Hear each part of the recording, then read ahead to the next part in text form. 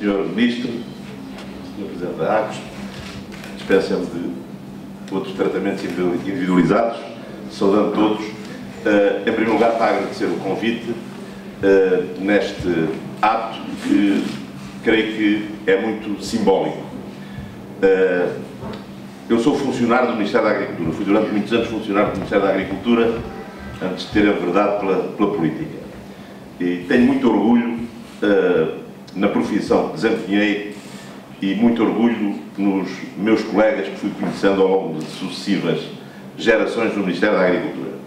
E fui assistindo com tristeza à, ao, à redução da capacidade técnica do Ministério. Se foi progressivamente transformando uh, num conjunto de organismos de, de referência, da ciência agronómica, das ciências veterinárias, uh, para progressivamente ser transformado cada vez mais num departamento burocrático.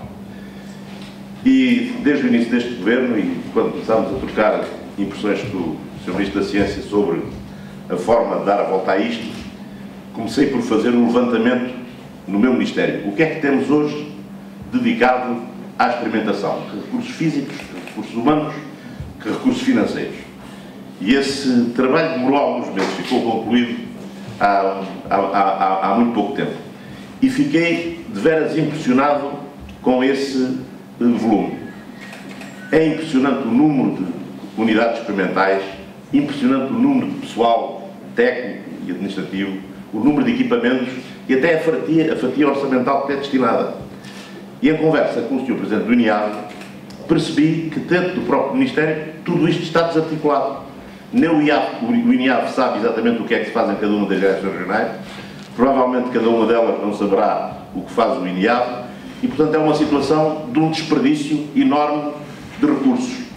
Penso que o Ministério da Agricultura, por si só, não tem condições hoje, dadas as circunstâncias, as restrições orçamentais, de dificuldades de contratações, etc., de, digamos, reerguer, de recuperar o prestígio e a utilidade nesta matéria, numa época em que vivemos na necessidade da inovação, do conhecimento, em que tudo isso está uh, rarefeito e, e, perdido. E pensámos com o Sr. Ministro da Ciência, portanto eu, para concluir melhor do que eu, qual, qual a forma de podermos, no seio do Governo, cooperar para dar um salto qualitativo neste sentido. E, enfim, já tivemos primeiro, um, primeiro, um primeiro passo, que foi dado na criação do campus de Oeiras, e temos agora dois desafios, quer no plano das universidades, quer no plano dos politécnicos.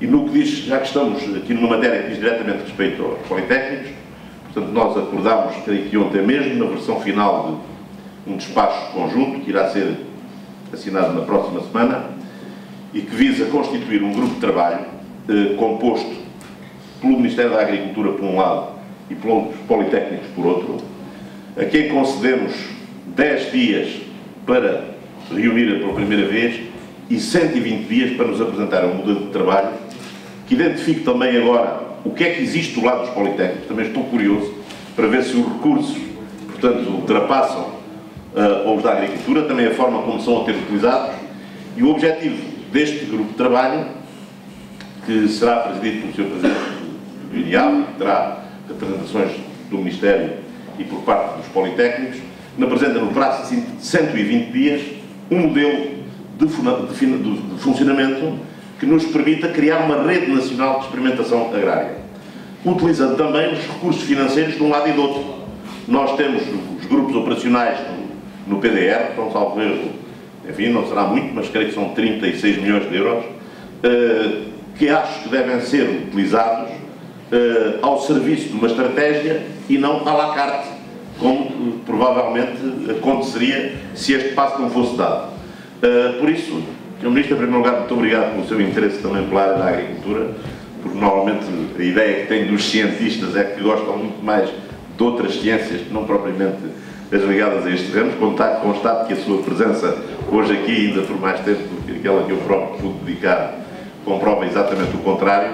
Tenho muita esperança, tenho muita esperança neste trabalho que a desenvolver, uh, sobretudo o que gostaria de vos transmitir é que por parte da tutela política há uma enorme vontade de fazer avançar este processo. Tenho a certeza que a minha não é superior à do Sr. Ministro da Ciência, mas gostaria que fosse pelo menos igual.